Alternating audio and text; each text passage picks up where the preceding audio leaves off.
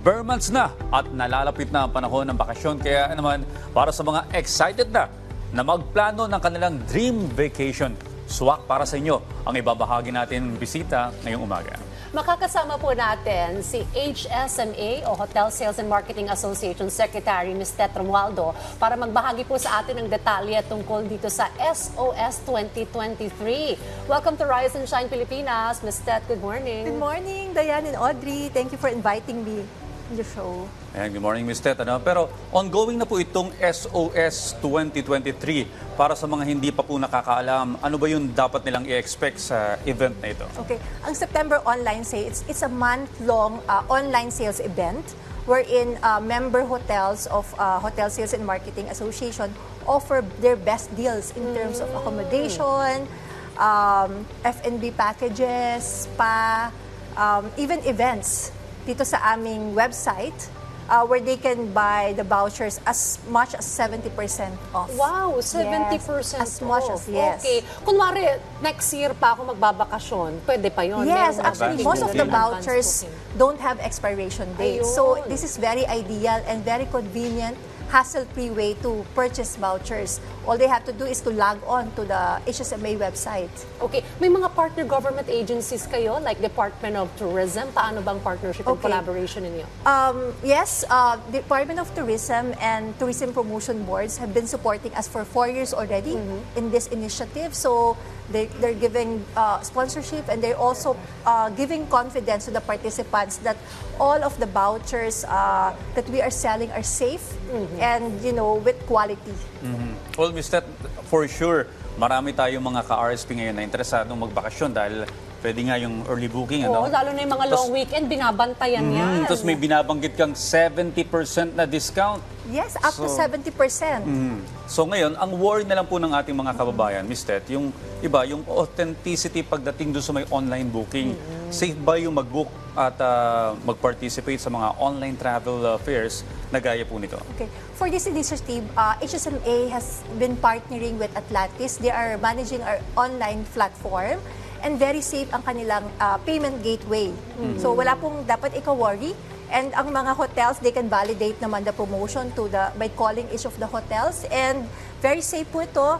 They just have to encode their credit card and they will automatically get the vouchers that they purchased. Okay, so nationwide ito eh, sa mga hotel na kaya Cebu, Yes, we have Mindanao uh, 83 participating hotels for this initiative uh, from Metro Manila, Luzon, Visayas, and Mindanao. We actually divided it into eight clusters. We have hotels from, of course, Manila, Makati. We have from Alabang, Paranaque, and Pasay. Or uh, Pasig, Quezon City, and uh, Taguig. Then we also have the North Luzon cluster, South Luzon cluster, Cebu, Bohol, Palawan, uh, Palawan, Leyte, and Davao, and of course, Boracay. Okay, so ito'y buong Setyembre Yes. lamang. So take advantage of We this have month. 10 more days to go 10 for them to take to advantage of not? this discounted vouchers. Okay, paano yung ano, ah, makakakuha ng best deals? Ano yung recommendation mo o tips? At meron ba kayong customer ser- support service na pwedeng tawagan para matulungan yung ating mga travelers? Of course, we recommend our travelers to, to follow our social media accounts. Uh, so as HSMA PH that they can get the best deals and of course log on to our website www.hsma.org.ph slash SOS. And in terms of customer service, uh, we have they just have to uh, message us on our uh, messenger, Facebook Messenger, so that we can answer all their queries and uh, clarifications. Pero ito ba SOS 2023, a yearly nyo ginagawa ito? Yes, this is an annual event and this is our fourth run. And most this is a, the most awaited uh, online travel mart of the travelers because it's really very big deal. We all know naman that during uh, bare months, tumataas na yung rates ng mga hotel.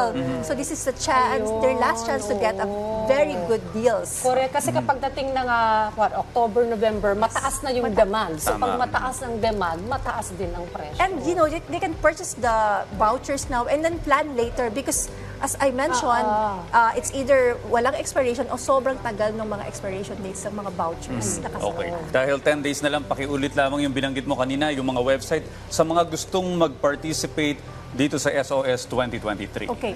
Sa ating po mga travelers, sa mga buyers, all you have to do is to log on to our HSMA website, www.hsma.org.ph/sos or check the promotions on our Facebook, HSMA PH, our Twitter, HSMA Philippines. May mga upcoming programs and projects pa ba yung organization? Yes, aside from the September online sale, we also have our inaugural HSMA Summit. As you mentioned kanina, kailangan ng training ng ating mga uh, practitioners sa industry. So this time, we will we organize this event uh, this coming October 12. Uh, wherein we invited all the industry leaders to train our sales and marketing practitioners so they can also participate on that, especially dun sa mga aspiring uh, hotel industry uh, sales and marketing practitioners. Well, Magand- mhm. Magandang suportahan natin yung mga initiative na to kasi Yes. malaking bagay ang tourism pagdating sa ekonomiya ng ating bansa. So, Ms. Ted, uh, would you advise yung mga kabataan ngayon na pasukin ang ang ah, mga kursong HRM, mga tourism dahil in demand itong ah, tur- tourism industry? Definitely, Audrey. Actually, ang taas ng hiring requirement ngayon sa mga hotels. We all know every nag-open up na lahat na ng borders, 'di ba? So everyone is traveling and traveling has been an important uh, need during the pandemic. So ngayon all the hotels if you see their website, they're hiring and uh, nagkakaubusan nga ng manpower. Yun na nga eh, nabalitaan namin na from other ah, tourism NGOs na nagkukulang na daw tayo ng mga chef dito sa Pilipinas at man- ibang manpower dahil kinukuha na sa ibang bansa. Nauubos na yun nandito. Nag-a- Yes, aside from from uh, the shipping industry, some of our i- practitioner also shifted to BPOs and uh, other online work during the pandemic. So ngayon, talagang kulang na kulang. So uh, hopefully there will be more uh, students who will take HRM courses and uh, HRM related courses.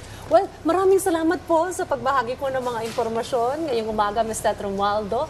At ah, sa ating po mga travelers, take advantage of the September online sale for 2023 ng HSMA. More power sa inyo. Thank you, Thank you Mr. also, Team Maraming Rise and salamat. Shine Pilipinas. Thank you.